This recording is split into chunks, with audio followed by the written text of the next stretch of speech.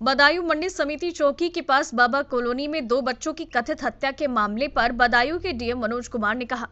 हमें सूचना मिली कि एक आदमी ने घर में घुसकर 11 साल के और 6 साल के दो छोटे बच्चों की हत्या कर दी। इसके बाद लोगों में हड़कंप मच गया। लोगों से शांति बनाए रखने को कहा गया है और शवों को पोस्टमार्टम के लिए भेज दिया गया। हत्या का कारण अभी स्पष्ट नहीं है। कार्रवाई जारी है। हत्या की वजह अभी तक साफ़ नहीं हो पाई है। पुलिस ने आरोपी को ढेर कर लिया है। इस घटना से सनसनी फैल गई है। लोगों ने इलाके में आगजनी कर दी। भारी मात्रा में फोर्स तैनात है। बरेली के आईजी राकेश कुमार ने कहा कि आज शाम एक दुर्भाग्यपूर्ण घटना घटी।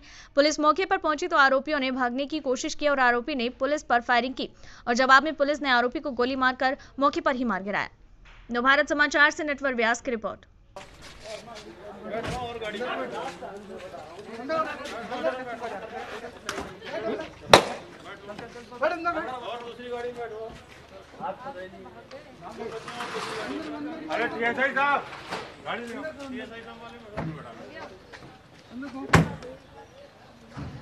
Evet, buradan da geldim.